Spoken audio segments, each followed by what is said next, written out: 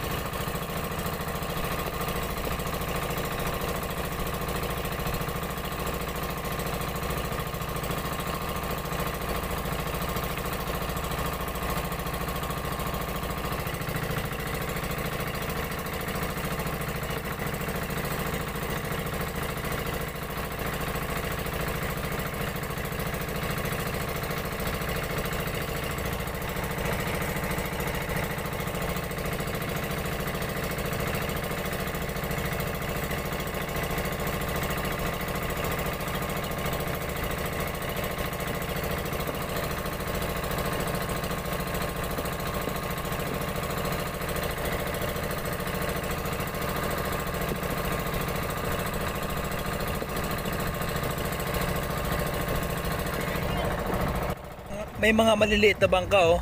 Ano yan, mga namimingwit.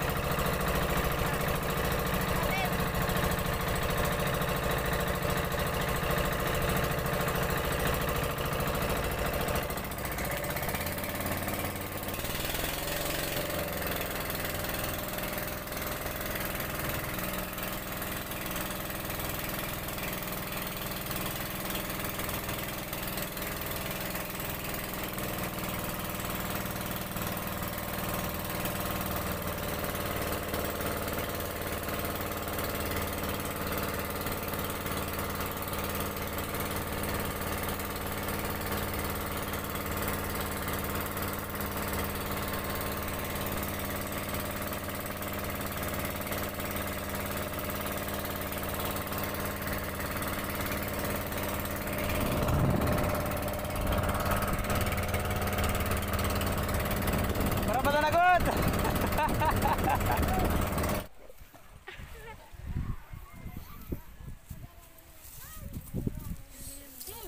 Aray.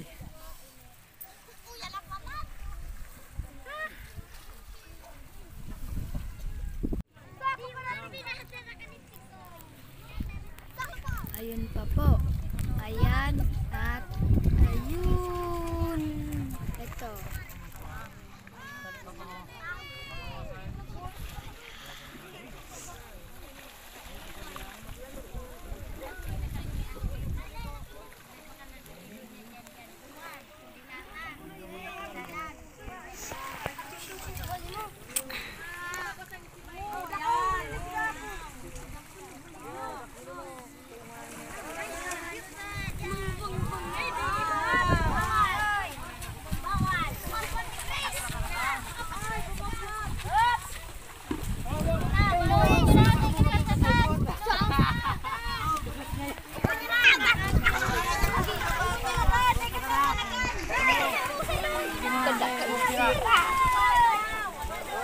Tito, ayan.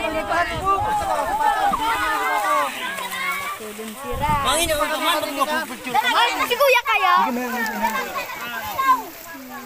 Oh, nalagsan na kang kulinaw. Oh, nalagsan na sarang grab na basang. Relax lang, relax, relax. Nalagsan na. Oh. Ayun. Malaglag yung cellphone.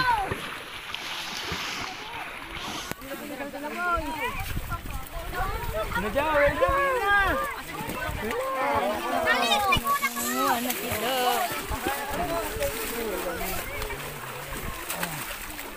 Oh, kuya.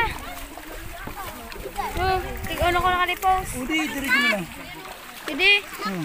Eh, idi ko. Kita mo, idi. Diretso mo lang.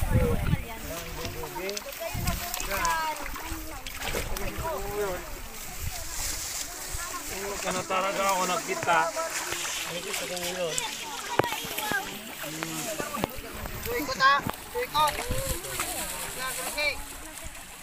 6 na.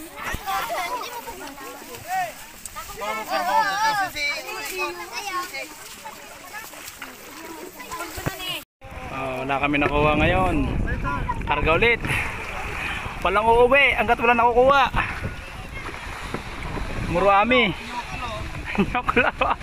Ang dami pa naman ba? Ang dami pa naman ng isda. oh.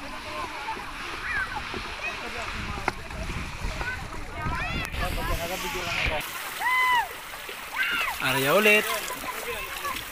Bike. Oh.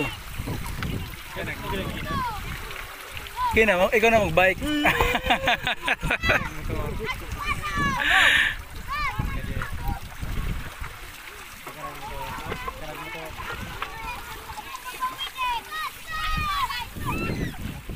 Natulag so kuha paw sa mga akos.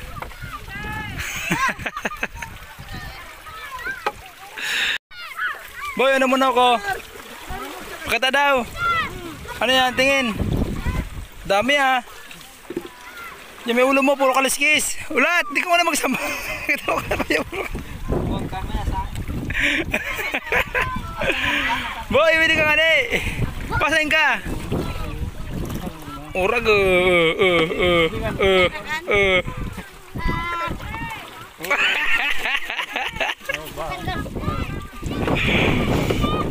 Balik ka kilayon.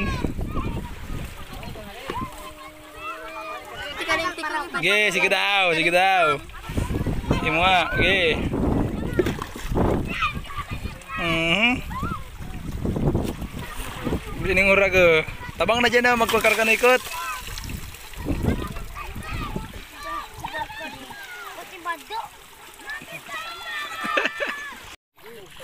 Nga pala yung mga nakuha namin ngayon guys.